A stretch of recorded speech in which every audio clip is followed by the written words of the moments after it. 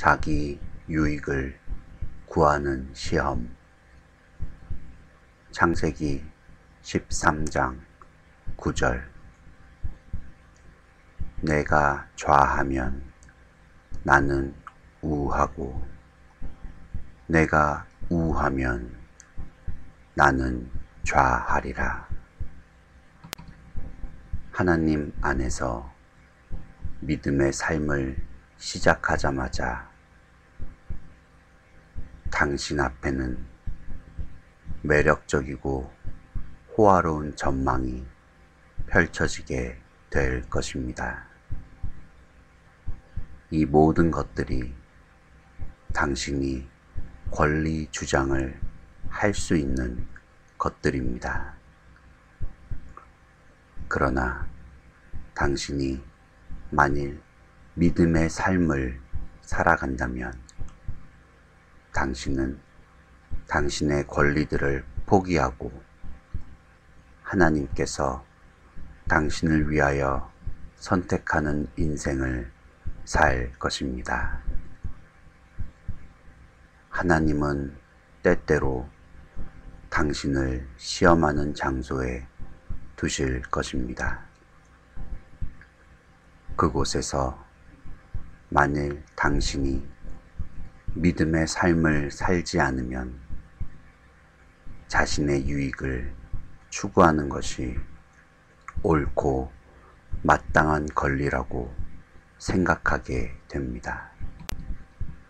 그러나 그곳에서 믿음으로 살면 당신은 당신의 권리를 기쁘게 포기하고 하나님께서 당신을 위하여 선택하도록 허락할 것입니다.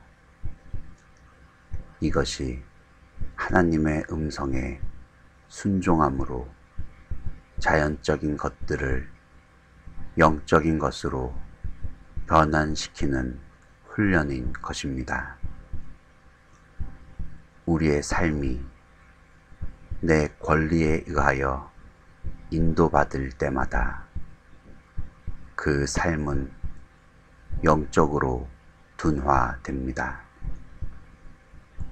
하나님을 믿는 믿음의 삶의 가장 큰 원수는 죄가 아니라 어설픈 선입니다.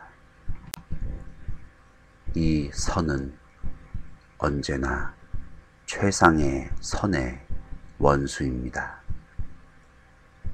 위 구절의 경우 세상적 관점으로 보면 아브라함이 먼저 선택을 하는 것이 가장 지혜롭게 보입니다.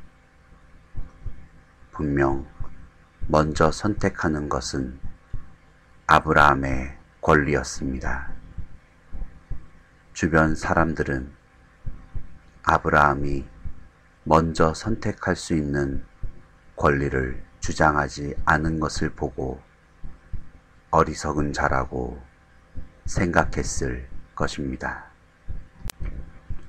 우리들 대부분은 우리 자신을 위하여 하나님께서 선택하시도록 주님을 의지하는 대신에 자신의 권리에 따라 선택하기를 좋아하기 때문에 영적으로 성장하지 못합니다.